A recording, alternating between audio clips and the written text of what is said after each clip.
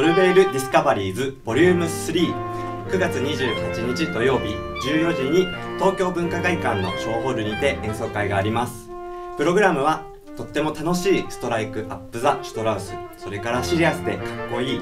シューダーですそして今回が初演となります長尾淳さん編曲の展覧会の絵を全曲演奏しますサクソフォン重奏の魅力を一緒に発見していきましょう会場でお待ちしてます